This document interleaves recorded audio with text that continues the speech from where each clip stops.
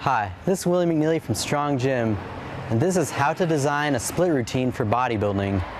Now, one of the most optimal ways to design your split routine is by combining like muscle groups and movements to your bodybuilding routine. This would be exercises such as combining chest and triceps together, back and biceps, your leg muscles, and shoulders and traps and other overhead movements. I'll go ahead and talk to you about a four day split routine for bodybuilding. The first day should be dedicated to chest and triceps.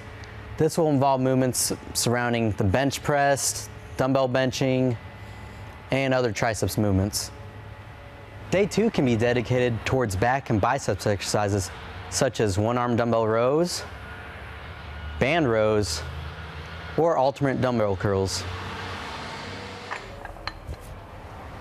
Day three can be dedicated to leg or lower body exercises such as squat and deadlift.